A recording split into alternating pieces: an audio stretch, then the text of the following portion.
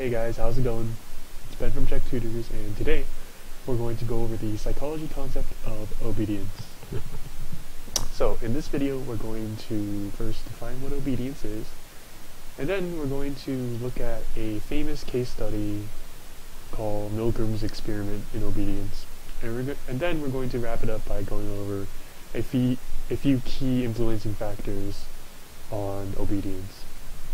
So, um, in psychology, obedience is the tendency to comply with the commands of those in authority. So, the definition is pretty much what you would uh, imagine obedience to be, in uh, from what you can uh, get from like common usage of the term.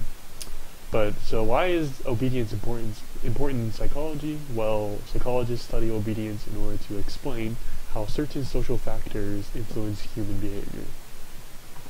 So they want to know under what circumstances obedience happens in humans and why.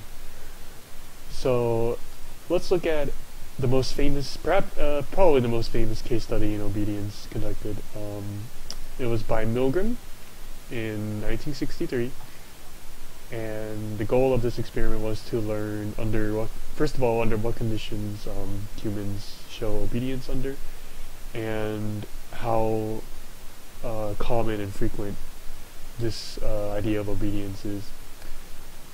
Uh, and actually, the origins of this experiment um, was to identify how easily, how ordinary people in um, Nazi Germany during World War II could follow such terrible orders and on such a large scale. So uh, Stanley Milgram wanted to identify what kind of factors goes behind this kind of obedience. Uh, let's look at the setup for the experiment. So in the experiment, um, the the volunteers, uh, there were 40 volunteers for the initial experiment, and they were the ones who were actually um, they were the participants, and the participants were always the teachers in this three-person scenario. So what happened was they showed up, and then uh, the vol- the volunteer, the um, the participant, and another Confederate uh, drew straws in order to see who would play the teacher role and who would play the student role. And it's important to know that going into this experiment, they were under the impression that this study was based on learning uh, when it was actually about obedience. So um, the participant would draw straws with this Confederate, and the, the straws were rigged so that the um, participant would always get the role of the teacher. And so the participant is always the, the teacher, and then the student is a, is a Confederate, and the experimenter also is basically playing a role as a Confederate because he um, he has he basically has a script for this experiment. And what happens is that uh, the scenario is that there are word pair associations. So the student is supposed to learn which word goes with which other word. And for every time that he answers incorrectly, uh, so for example, uh, the teacher would say, let's say red and blue are paired. The teacher would say blue, and the student is supposed to answer red. So there were a lot of these word pairs, and every time the student answers incorrectly, the um, teacher is supposed to administer a shock. And the machine looks something like this. Um, the scale is a little, a little, uh, a little longer than this, but it started off at the very minimum shock, and then each time uh, the shock increases in strength. And remember, this occurs each time the student gets something wrong. And since the student is a Confederate, uh, he purposefully, during this, each experiment, answers a lot of the questions incorrectly in order to make force the teacher to administer administer the shocks. Now, the thing is that the student is a trained Confederate who is very good at acting, and uh, this is important because the shock machine, the shock machine wasn't actually a shock machine. It delivered no shocks, but the um, the trained Confederate actor, uh, every time he received a shock, would give a, an appropriate reaction based on the strength of the shock. So they would like spaz out a little, and the stronger it went, uh, they would complain about pain and etc. So the idea behind this is that uh, they wanted to see at, at what point the teacher would stop administering these shocks. And in order to see um, how this affects how this goes with obedience, they have this third person, the experimenter, who is there to uh, continue prodding the um, the teacher, the uh, participant, to keep administering these shocks if he hesitates. So um, when the teacher hesitates, the experimenter has four lines that they uh, read one after another, and they only read the next one if the um, if the participant still continues to refuse to administer the shock. And they are, please continue, the experiment requires you to continue, it is absolutely essential that you continue, and you have no other choice but to continue.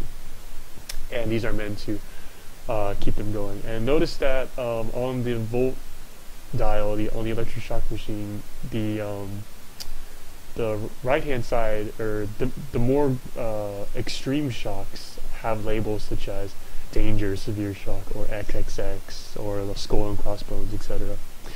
And in a lot of the trials, the actor, the um, the learner confederate, uh, the student confederate would, um, after reaching the most extreme levels of shock, would just go silent and sometimes he would complain about heart problems while it's getting to the um, more severe end of the scale, etc. Basically, the Confederate is saying things in order to make the teacher question whether or not it's correct to keep going to administer these these uh, shocks that he doesn't know are fake, but um, are getting increasingly large in value. And uh, the experiment is made to find the breakpoint at which the teacher refuses the experimenter's instructions and stops giving these shocks. So, uh, what were the results? Um, turns out 65% of all participants who were the teachers, so they were all the teachers, continued to the highest level of 450 volts. So just let that sink in for a minute. 65%, that's almost two thirds of all participants. So the implications of this study are huge and they were huge at the point that they were at, uh, at the point in time they were released. It suggests that um, the majority of common people, uh, your everyday average citizen, are capable of doing really terrible things when they're following following orders. So uh, when they're given constant instructions and given the pressure from a higher authority, they're able to deliver seemingly lethal, sometimes, electric shocks which is crazy. It suggests that uh, the majority of um, human beings are easily capable of obedience. Uh, so those are the main those are the main implications of the Milgram experiment, and then Milgram also conducted several variations that gave some valuable insight into which factors are uh, important when you're looking at whether or not um, humans are likely to obey or not. So um, one of the variations looked at the um, authority. So factors. So one was authority, and in, th in this variation, uh, usually the experimenter in the original wore like this um, uniform, this gray lab coat, in order to signify his authority. So in this variation, the experimenter is called away, and then the role of the experimenter is taken over by an ordinary person. So it's, it's another confederate, but this time this confederate is in everyday clothes instead of a lab coat. So this signifies a lower um, sense of authority in the experimenter role. So when this happens, the obedience level drops by drops to 20%.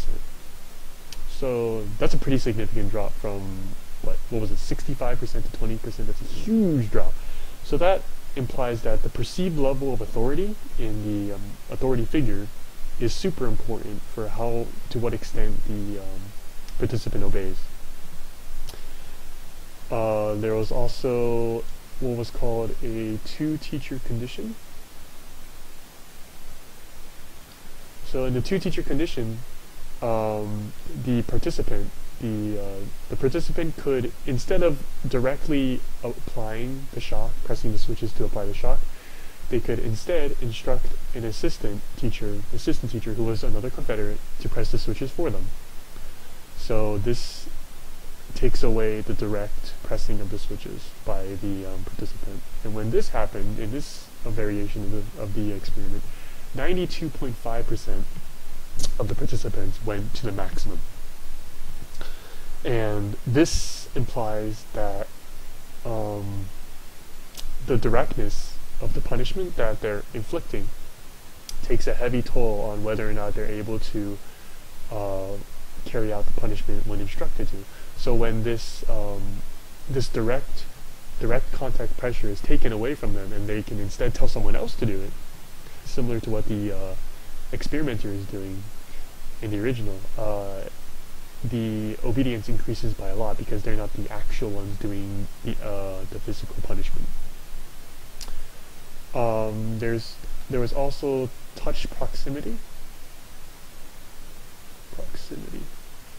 So this is a similar idea to the previous one, except in the opposite direction. And in, in this variation of the um, scenario, the teacher, the participant, actually had to force the learner's hand down onto a shock plate uh, when they refused to participate after 150 volts.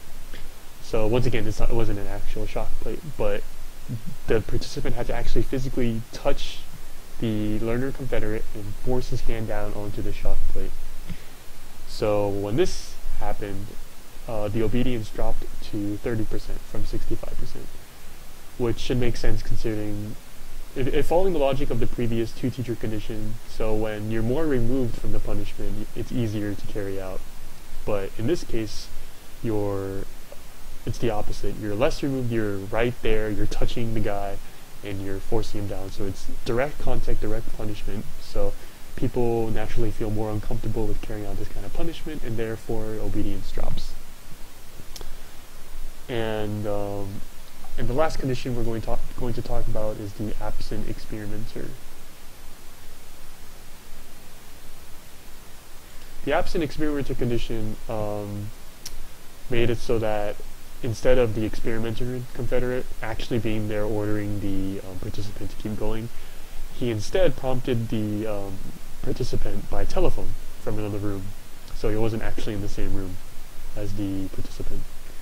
So when this happened, obedience dropped from 65% to 20.5%, which is, which implies that uh, once again that the authority figure is very important, and not only is his perceived authority, his um, appearance and his lab coat, not only are those important, but his actual just physical presence in the room is also important.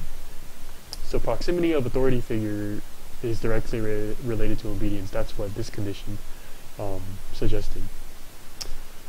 So those that's uh, those are all the basic um, factors, some of the basic factors that Milgram tinkered with in order to explore what really gets to the obedience of humans. And um, so uh, that that just about covers the most important um, obedience case study in psychology, uh, and those are those uh, that's pretty much the foundation for obedience as a whole. Um, if you're in a psychology course currently, in an intro level psychology course, this is probably the case study that they will cover the most in class and that you have to know the most in depth. So make sure you know the implications of the experiment, the setup, and the varying factors of obedience that the um, the experiment revealed. So yeah, that's it. Uh, I hope you guys um, have a better idea of what obedience is and how and what factors um, affect obedience now. And um, yeah, that's pretty much it.